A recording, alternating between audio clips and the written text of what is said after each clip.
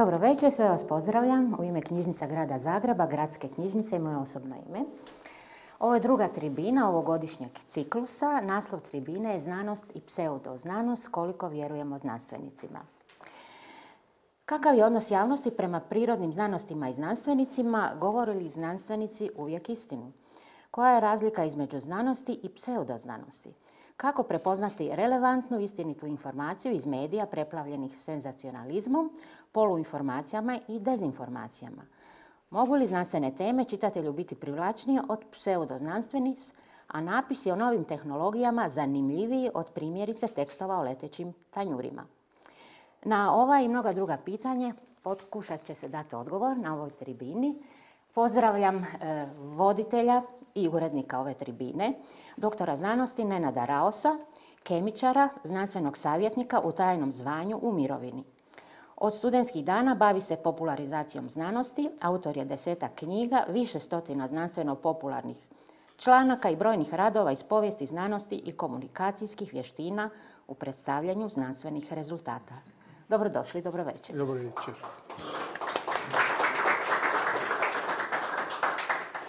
Također pozdravljam e, sudionike tribine, izvarenog profesora doktora znanosti Tihomira Marijanca, geologa do umirovljenja profesora na Zagrebačkom prirodoslovnom matematičkom fakultetu.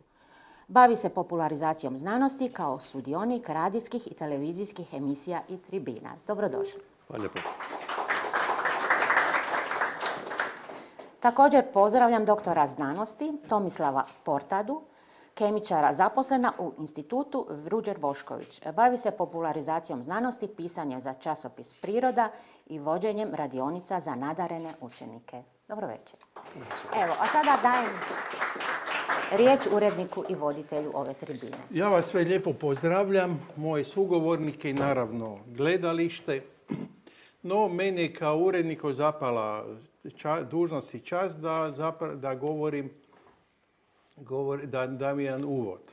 Ja sam obično, ja sam vezan dosta za povijest, pa ću ja napraviti jedan povijesni uvod. A povijest nas vodi vrlo daleko. Vodi nas zapravo dve, dve, i po tisuće godine unazad, kad je Pitagora usporedio ljudsko društvo sa olimpijskim igrama. Znači, ima, unutra ima tri vrste ljudi. I, ima u borilištima, oni se bore. Ima u trgovci i ima gledatelji. Oni su koji su bore, to bi odgovaralo ono što se, što se latinski kaže vita aktiva, to znači oni koji su ratnici, e, stočari, nešto koji privređuju ono što se zove biznis. Jel? Znači koji nešto pri, priređuju, nešto rade, aktivno žive. Onda ono što su trgovci, to se možda danas ne bi složili, ali trgovci su za njega bili ono što se zove društveni paraziti. Znači, razno razni, e, razno razni e, lezi lebovići, e, huhljebi, onda sinekuristi i tako dalje. Ljudi koji na tuđi račun žive. To možda malo čudno, ali recimo kad gledate, ja se sjećam u Imotskoj krajini, kaže gdje ti ide u kakvu ti školu, kaže mala ide. Kaže ide u Lopovsku školu. Pa kako je to Lopovska škola? Pa to ti je srednja trgovačka, to ti je Lopovska škola. I sad znači, a onda na kraju ima oni gore gledatelji, oni su zapravo filozofi. Jer zapravo riječ, e, e, teorija dolazi od grčkog glavu teorein, gledati. Prema tome, oni bi zapravo recimo, teorija bi se onda bila saglednica, a teoretičar bi recimo gledao sagledatelj ili onaj koji gleda. Znači, on je zapravo pasivan. On ne utječe, on samo misli i to je ono što se on zvoli bios teoretikos ili recimo se to u latinskom kazovalo vita kontemplativa. I to bi sve bilo u redu da se odjedanput ti filozofi ne počnu ići dole u borilište, i još ide među trgovce. E onda nastaje opći, opći rusvaj. I recimo bio je prvi koji tog rusvaja e, e, nadrljao je bio zapravo sam Platon. Jer on je isto tako imao, imao ideju koja je i danas aktualna, da, ne, da, ovaj, da svijet neće biti bolje mjesto dok vladari ne postaju filozofi ili filozofi vladari.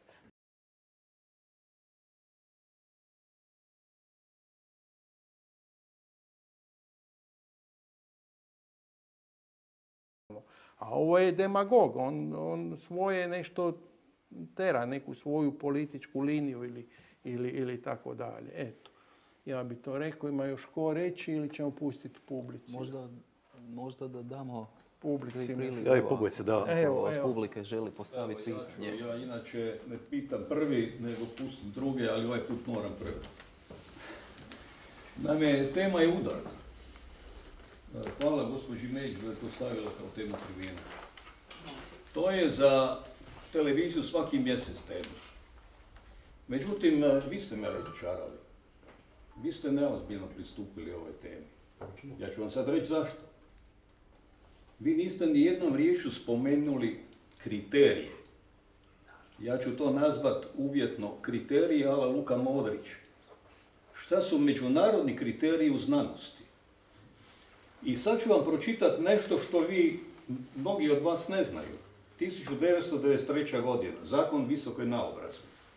Autor zakona, rektor, profesor dr. Marijan Šunjić. Članak 51 kaže za pristup do obrani doktorata osoba može pristupiti osoba koja je objavila najmanje tri znanstvena rada u časopisima sa priznatom međunarodnom recenzijom i, veznik i, najmanje tri godine sudjelovala u istraživačkom radu visokog učilišta ili znanstveno-istraživačkog instituta.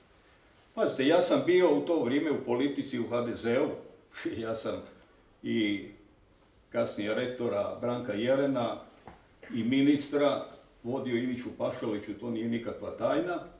I kad se to dogodilo, kad je izašao taj zakon visokoj naobrazbi, dođem ja kod mog gimnazijskog kolege Branka Jelena i on meni kaže ovako, gledaj Miro, došao mi je Mate Granić, rekao mi je šta taj Marijanček hoće, onda ti Branko i ja više nećemo moći biti profesori. Dakle, to je sukus priče. Nisu prošle tri godine, ministar Kostović sa svojim pomoćnicima Fuksom i Ružinskim mijenja zakon. Znate na koji način? Veznik i pretvara u ili. Strašno. Perfidija vrhunska, kakav Sokrat, pričaš. baš. Perfidija vrhunska. Od tada je sve srušeno, molim lijepo. Zato imamo precesiju, procesiju, znate ne precesiju, nego procesiju u HNK mladih doktora, što je meni drago.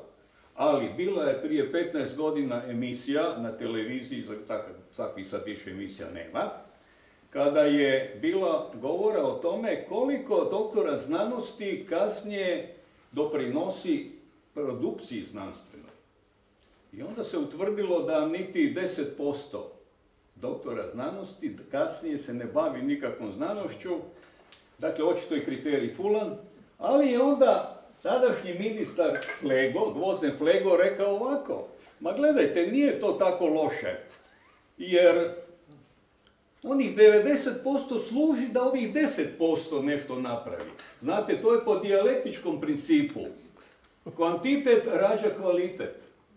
To je katastrofa, pazite. To je jedna stvar što se tiče kriterija. Druga stvar, a gospodu kemičare, ne mogu reći kolegi, ja sam fizičar, ću upozoriti. E,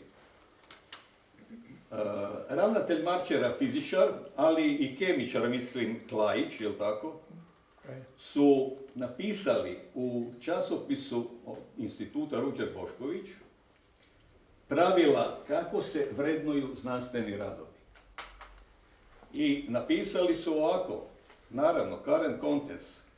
Tlajiš piše ovako, raspon znanstvene produktivnosti između pojedinih područja je gotovo pet puta. Zadnji značajni pokazatelj o kome treba voditi brigu je parcijalno autorstvo. Odnosno, da se svakom ko autoru pripiše jedan kroz n citata i radova. I sada pazite, bila je ovdje prije godinu dana moja draga simpatija zapravo, Tončica Čeljustka. Ja sam je ovaj papir tada pristojno stavio u ruke. Zašto?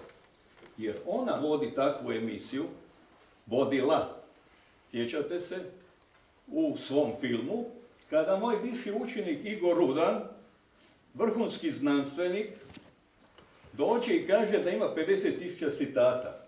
I onda to, naravno, pusti u eter. To nema ni Albert Einstein, oprostite. Zašto 50? To nije samo, pazite, on je medicinar i to kao kojom medicinom se bavi. O tom potom. Ali ovdje i Maršelja i Klajić pišu. Nije to samo za druge struke, nego i kod fizičara je to tako. Eksperimentalni fizičari sa CERNA, sad se radi veliki akcelerator, 90 km, strašno. Još dva Higgsova bozona će naći, možeš misliti, a za to ne vrijedi entanglement, nažalost.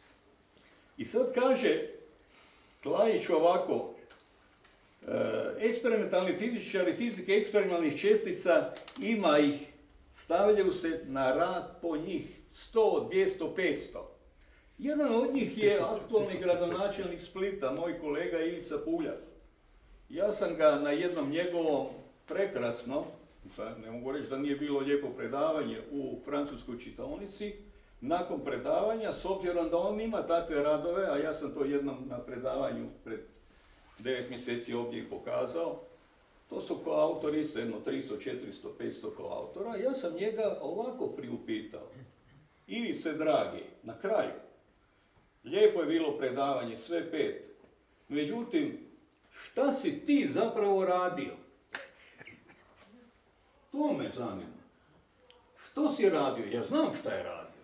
To je katastrofa, to je zlo Cerna, koji mi plaćamo još i članarinu.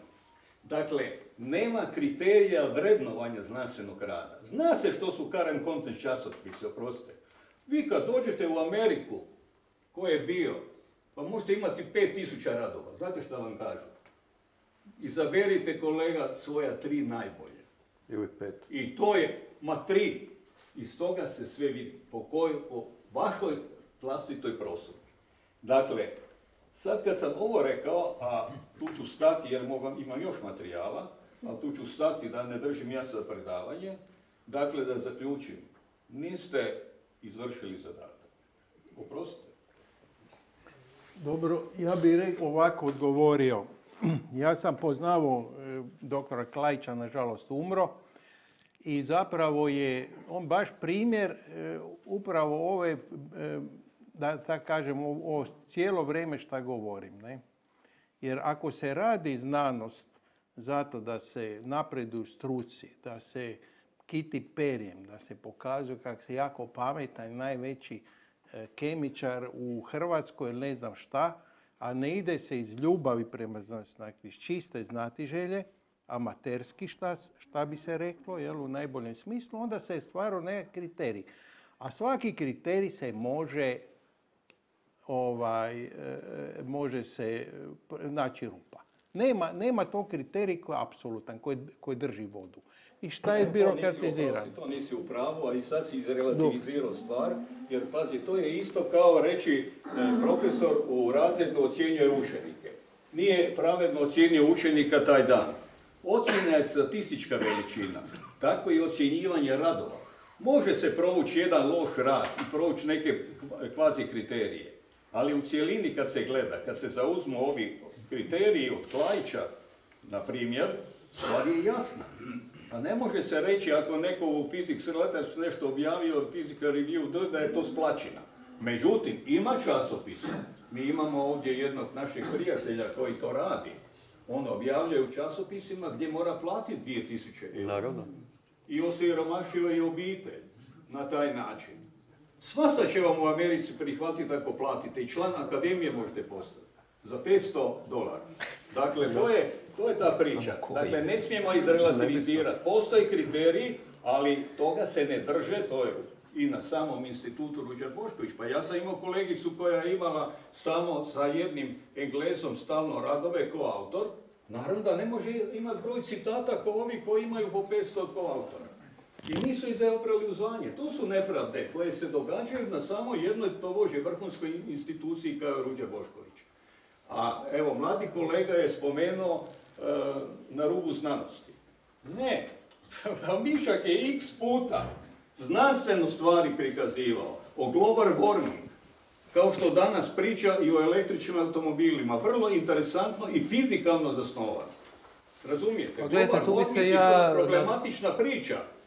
Odavno zna se kako je nastala još za Al Gora i e, politički zasnovana. Dakle, ne treba niti na e, mišaka i e, na E, gledajte, tu bi- tu bi se to ja- nije uvijek, ako je na Ako rubu znanosti, nije pseudoznanost. Samo treba malo, samo malo. Dakle, ja sam tu bio vrlo jasan. Dakle, to što je netko nekada u nekom trenutku rekao i nešto što je znanstveno, ga ne može opravdati ako Čak i da samo jednom, onaj moj, onaj moj, ne, čekajte, ne, onda, onda to stavite u zabavni program. A osim toga, vi ste, samo malo, ne, to nije, to, Ne, i to je to je, i to je problem. Ne, čekajte, to je, to je osnovni problem. onda je to. E pa, hvala Bogu, pa to o je tome formalno pričamo. znanstveni Pa to je, program. to je srž problema. Dakle, obrazovni, srž formalno. problema je što je ta emisija stavljena u znanstveni program. To je srž problema. Stavi ti to, stavi ti to u- Nema u, ničeg zabavni, pa onda ej, pričaj šta kolega, hoćeš. Nema. Ja bi se malo vratio na bit stvari. Vi ste do sad rekli ovim pojedinačnim slučajevima homeopatija i tako dalje, tako dalje, sve to vrijedno. Vratimo se na bit. Pitanje znanost i pseudoznanost. Dakle, znanošću se bave ljudi. Znanost posebi ne postoje mimo ljudi koji se zovu znanstvenici. Ne postoji ni pseudoznanost mimo ljudi koji se zovu pseudoznanstvenici, teoretičari zavjera i tako dalje, tako dalje. Pitanje je, vi ste govorili e, nešto o kriterijima, što je znanost, što je pseudoznanost. Recite mi, ko donosi kriterij o tome gdje je granica između jednoga i drugoga? Što spada u jedno, što u drugo? Ja znam, vi ćete se ponovo pozvati na to, metodologija znanosti i tako dalje. A je li metodologija jedini način za spoznaju svijeta? Je li metodologija e, recept kao kuharica da se bavim metodologijom, imam ispravnu metodu i ja ću dobiti Nobelovu nagradu? Pa nijedan Nobelovac nije dobio Nobelovu nagradu slijed- slijedeći slijepo znanstvenu metodu, nego je išao dakle, inovativno. Znanost je otvorena, otvoreno područje gdje ljudi ne samo imaju logiku i racionalno istraživanje i empirijsko tako dalje, nego moraju imati i maštu i tako dalje, i viziju. i Prema tome, mi znamo kako se dolazi do znanosti. I sad dolazi se do pitanja, dakle, ko su ti procjenitelji? Vi ste sad rekli, imate znanstvenike, imate pseudoznanstvenike. Zašto pseudoznanstvenici, ja govorim načelno, ne bi mogli procjenjivati i postavljati svoju granicu? Znanstvenici postavljaju svoju granicu. Da, evo, ako- Samo malo, Pa, mogu- nisam, ako nisam mogu završio. ja sad nadovezati na ovo sada. Može, može, kada završi. Ne moram zbog Stipe, jer to nisam- imamo mi često raspravu. završio, Pa, pa dopusti da kažem. Miro, dopusti da dobro, onda kažem. mi daj nakon toga samo da Pa, te dobro, dopusti. Dobro, dobro, ja ću Da. dati, ja sam ovdje. Moderator riječi. Dakle, e, dakle, ko postavlja, znanstvenici, rečeno je da su se pokazali zadnjih godina, dakle, kao ljudi koji nisu u stanju iz moralnih motiva i moralnih e, pretpostavki d- d- donositi sud o, o istini. Zašto? Zato što su trgovci, što su kupljeni. Većina njih, nažalost. Drugo, zašto ti znanstvenici ne dopuštaju, a znanost traži istinu, zašto ne dopuštaju, ne dopuštaju raspravu, pa čak miro i sa filozofima i sa bilo kime drugim? Pusti, dopusti. Zašto ne dopuštaju raspravu o nekom problemu, o nekoj temi, nego cenzuriraju i miču u stranu i s visoka od, od, odlučuju što je jedno, što je drugo. Dakle, znanstvenici su, profesor Marjanac je rekao, znanstvenici su puno krivi. Da, točno, oni su puno krivi zato što nisu slijedili ono što im je njihova dužnost. Naravno, uh, svaka čast vama koji to radite, ali takav je broj znanstvenika relativno mali.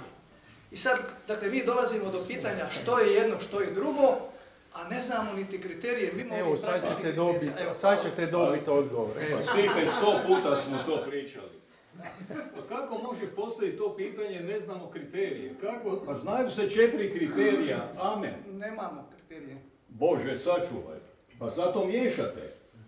O- originalnost, egzaktnost, reproducibilnost i prediktivnost. Amen. To je znanost. Nemojte filozofiju zvati znanost, to je uvreda za filozofiju. Nemojte teologiju znati za znanošću, to je uvreda za teologiju. To nisu iste stvari.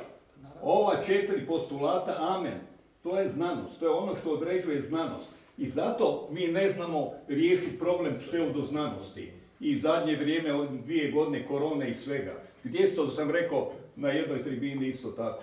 Pa trebalo je Igoru Rudanu i Draganu Primorcu reći, pa čekaj, gdje su ti tvoji radovi? Jel zadovoljavaju ova četiri uvjeta? Reproducibilnost i prediktivnost. Šta vi pre... Koja je predikcija vaša? Pa vidjeli smo sa cijepivom koja je predikcija. Dakle, to je četiri... I to nemojte filozofiji brkati. Osim toga, odmah da se iskoristim na Marita da se navežem. Pazite, kad se kaže za Einsteina, pa Einstein bez teorije relativnosti je prosječni fizičar. Tesla bez svog indukcijskog motora je prosječni izumitelj. Heisenberg je bez svojih relacija neodređenosti prosječni fizičar. Bošković bez svoje pojma sile je prosječni filozofčić. Ali nemojte mu pripisivati koji Tesli da je preteća lasera i kvantne fizike. Ma nema šanse, Marito. Ma kako ne bi bilo? Ma nemoj šanse. Ide kako da je? Ma nemoj, u čemu? Pa struktura, Jedan pa argument struktura reci. elektrona. Ma koga? Koga? Dobro Ma nemoj čuli. pričat svašta, ajde. Dopuštene i zabranjene staze u atomu. Molim? On je govorio o atomu. O, ne, ne, nije, on nije raba, samo nemojte se hvatati za glavu, jer ja to- nisam to ni rekao. On je govorio punkta, točka, ali mi to Tako danas je, zovemo a. Ali je go- nije govorio o dopuštenim i zabranjenim stazama. Hoćete li to reći da nije govorio o dopuštenim i zabranjenim Gdje? stazama? U čemu? Govori, govorio je, da. U čemu? A to ćemo U punkti, u točki. Smiješan. Nije to smiješno, nego Ma ne poznajete dobro Evo, smiješno. evo, ja bi- E, Vrijeđa, vrijeđa se Ruđer Boškovića na taj način. Ruđer Čekaj, se Bošković je vrijeđa, velik. pa imate crteže dopuštenih i zabranjenih staza. Ma čekaj, to je maštarije, pa nije se uopće pričalo o atomu. Demokrit je srušen 1909. godine. Rutherfordu, molim, Marito, pa treba Ja mogu, evo, evo,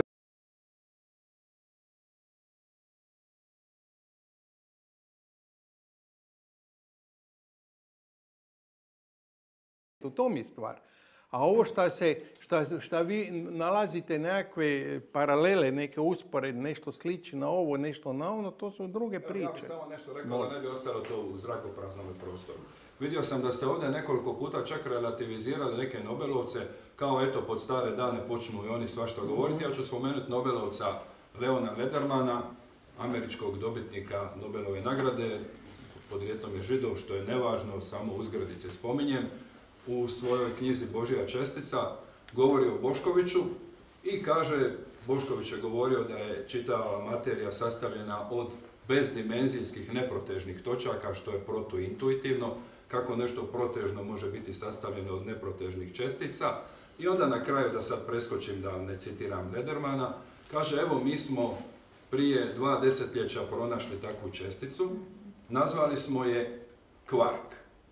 Bošković sigurno nije uporabio riječ kvark, jer ona dolazi iz romana Jamesa Joycea, Finneganovo buđenje. Jasno je da Bošković nije mogao poznavati tu riječ. Ali ako je Nobelovac, fizičar, rekao da kvark odgovara onome o čemu je govorio Bošković, onda to nisu budistički mitovi. To sigurno nisu budistički mitovi. Ali se ne može kvark izvući iz, iz Boškoviće teorije u tome. Ne može. Jer nije, jer nije neko čitao Boškoviće teoriju i onda kaže, aha, vidiš, to bi mogao kvark biti. Kako nije netko čitao kad je čitao Leon Lederman? Slušaj, e, Einstein je do svoje smrti osporavao kvantnu fiziku. I onaj čuveni entanglement za Pa koji Nikola Tesla nikad nije prihvatio. Nikola Tesla nikad nije prihvatio kvantnu teoriju. Pa nemoj od Nikoli Tesla uopće spominjati i vrijeđati Nikolu? Teslu sa kvantnom teorijom. Nikola Tesla Pa ima što izum indukcijskog motora zbog kojeg je dobio jedinicu Tesla. Amen. Što je deset puta vrednije od Nobelove samo nagrade. konstatiram da nije Ma ne, pa nemoj kvantnu pričat. teoriju, ali to ne znači, Ma svašta to ćemo ne znači niti da ne vrijedi kvantna teorija, niti da ne vrijedi Ma on, Tesla. pa nije znao.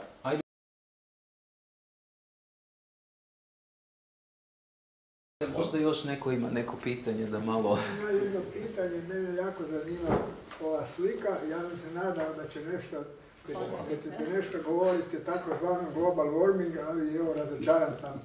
Pa, to ovaj, nije global warming, to je a, ravna zemlja. da, da, da i to čujem. To je ravna zemlja. To je ravna zemlja. Zemlja kao ravna ploča. To je slično kao i pitam jednostavno. Recite nešto o global warming. Stalno, vi ste tri puta rekli da se znanstvenik, nijednom niste rekli da ste kemičar.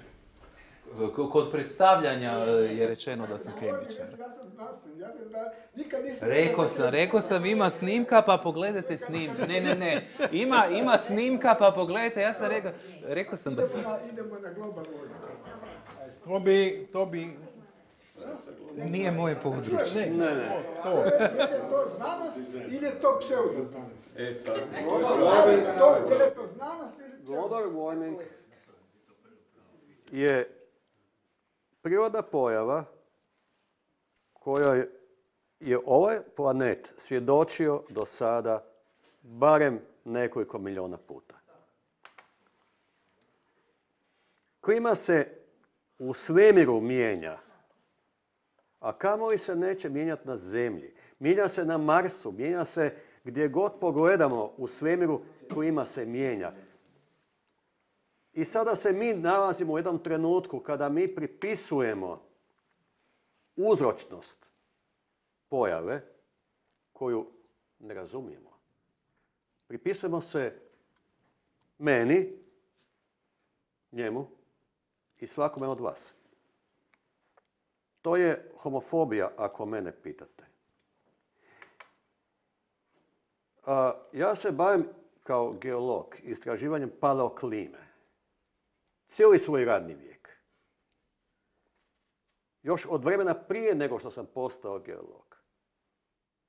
Su me te teme zanimale, istraživao i nakon 40 ili više godina istraživanja imamo vrlo lijepe podatke koji pokazuju kakva je klima bila u nas u raznim razdobljima geološke prošlosti, pa idući prema modernome.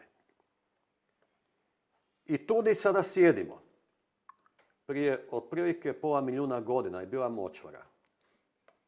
A na Jelcu je završavao ledenjak koji je bio debeo 200 metra najmanje. Morene su vam, idu po Bakačevoj, po Kalčićevoj. To su morene koje se protežu okolo Panonskog bazena.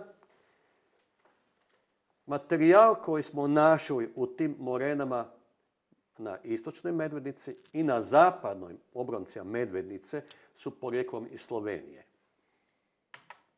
Otok Rab, Cres, Pag, Ravne Kotare je pokrivao led debel približno stotinjak metara. Završio negdje u Lošinjskom kanalu. To radimo zadnjih nekoliko desetljeća. Imamo jezgre, rezultate, istraživanja. Da bi nam recenzenti rekli ja u to ne vjerujem. A ja mislim da je znanost ipak znanost, a ne religija. U religiji se u nešto vjeruje ili ne vjeruje, a mi prezentiramo naše rezultate. Dakle, samo hoću reći, globalno zatopljenje je fenomen kojeg ljudi prate od 1850. do danas. Zašto? Jer 1850. je osnovana svjetska meteorološka organizacija. I od tog trenutka se počinju sistematski prikupljati podaci o temperaturi, zraku i tako dalje. I normalno je da se bilježi određeni trend porasta temperature, jer prije toga je bilo takozvano malo ledano doba koje je počelo 1450. godine. I sad što mi gledamo? Gledamo jedan, jednu sinusoidu koja nije baš prava matematička sinusoida, jer to ništa u prirodi nije prava matematička krivulja. To je jedna krivulja koja ima svoje oscilacije. Kako mi te oscilacije vidimo, kako mi njih dokazujemo, to je druga priča. Ono što je bitno, da nakon drugog svjetskog rata, pogledajte koliko je izgorilo kuća samo u Europi, koliko je bilo gorenja pri niskim temperaturama, koliko je oslobođeno CO2, koliko je oslobođeno para plinova od eksplozija, e, 2,5 milijarde tona eksploziva je bilo samo sa zapadne strane, sa sa strane saveznika. Da ne kažem, ja sam računao koliko je bilo tenkova i svega ostaloga. Temperatura je padala, a ne da je rasla. Ali onda je počela rasti u nekom trenutku. Mi ne možemo pripisati jednom uzroku ono što mi promatramo. Premalo se radi istraživanja, previše se dogmira. Vi danas imate situaciju, mogu vam to reći, 1998. godine eh, profesor Sigurdsson koji je bio profesor na geofizičar na sveučilištu na Svalbardu je u časopisu koji zove Svalbard Avisen, dakle Svalbardske novine, napisao jedan kritički članak gdje je rekao da, da ono što radi ekipa iz IPCC-a da samo uzima statističke blokove iz kojih radi izračunava svoju krivulju, neka uzmu samo druge setove podataka da će dobiti drugčije rezultate. Drugi dan nakon što je on to objavio u tim svabarskim novinama, na otoku Svabardu živi 2000 ljudi. Da se mi dogovorimo. Kolika je čitanost tih novina? Par stotina. On je dobio drugi dan otkaz. Otkaz redoviti profesor je dobio otkaz zato što je napisao nešto što nije u skladu sa proklamiranom politikom Republike Norveške, odnosno Kraljevine Norveške. I što se nakon toga dogodilo? Išao na sud, sudio se 10 godina, dobio je sud da je, da je otpušten nezakonito. Ali već u tom trenutku je bio preko 70 godina star. Dakle, što se događa? Ljude koji tako nešto e, kažu, proglašavaju za heretike. To se meni dogodilo osobno, ja sam to rekao, i nisam dobio profesoru tamo gdje sam ju tražio. I ostao sam u Hrvatskoj gdje se takve stvari smiju reći. Ali se ne smiju reći u ostatku Europe. Vjerujte mi na riječ, postoji crna lista na kojoj, ako nađete crnu listu na internetu, postoji, potražite, naći ćete moje ime. Ja sam potpisnik peticije sa 54 tisuća znanstvenika koji smo se potpisali sa imenom, prezimenom, popisom radova koji tvrdimo da su podaci u e, bijeloj knjizi IPCC-a svi isfabricirani. Potpisali smo se, 54 tisuće. A u toj knjizi je navodno 2000 najboljih svjetskih znanstvenika. Ako pogledate tu isto 2500 tisuće tih svjetskih znanstvenika, vidite da pola nisu, nego su administratori. A što možemo? To je tako. Dobro, evo, samo, samo. Apsolutno potpisujem ovo što ste rekli, ali još uvijek mi je ostalo nejasno da li CO2 utječe na global warming. Nema sažice. Pa CO2 je prisutan sa CO2 je prisutan sa 400 ppm-a ako mjerite na Mauna Loa koji je aktivni vulkan, 400 ppm-a. Gledajte, ali, ali vodena para je daleko efikasniji staklenički plin, imaju u zraku više od 1%. To moj mali u peti razred zna. Pa čekaj, tata, to je 0,03%. Pa da, pa da, pa to nije ništa. On ne razumije koliko je to malo. Eto, eto. Gospodine, puno ste govorili, ja ne znam, ja sam samo pitao jednostavno pitanje. Global warming, je li fikcija ili nije? Ja sam, ja sam sve odgovorio. Pa sve ti odgovorio. Sve sam rekao.